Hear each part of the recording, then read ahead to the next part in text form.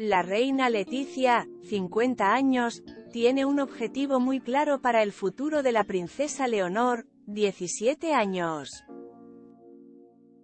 Hoy, sus estudios son una parte esencial de su vida y también, a petición de su madre, toda desvinculación con la reina Sofía, 84 años, y el rey Juan Carlos, 85 años.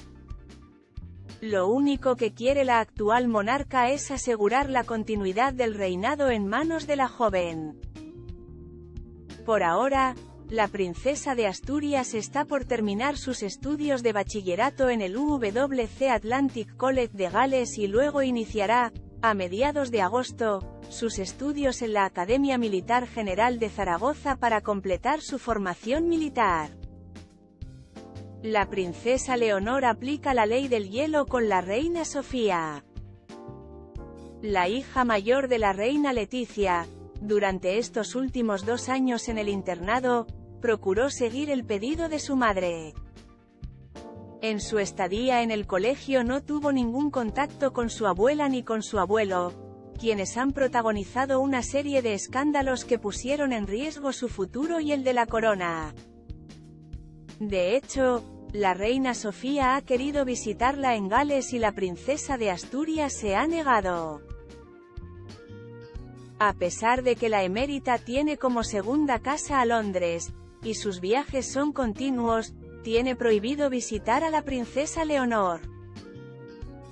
Es por ello que la distancia entre abuela y nieta cada vez es mayor, pero la reina Sofía no quiere sobrepasar los límites y que sus acciones perjudiquen a la joven, ya que es una solicitud del propio rey Felipe.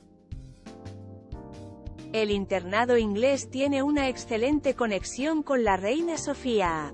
Pertenece a la Organización Educativa Internacional Colegios del Mundo Unidos, creada a partir de la filosofía del pedagogo alemán Kurt Hahn.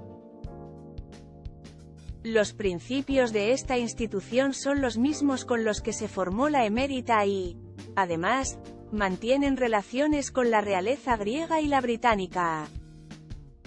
Sin dudas, habría sido la exmonarca quien intervino para que Leonor y Sofía estudiaran en ese internado, porque era grato que coincidieran con sus mismos valores y con un prestigioso programa académico.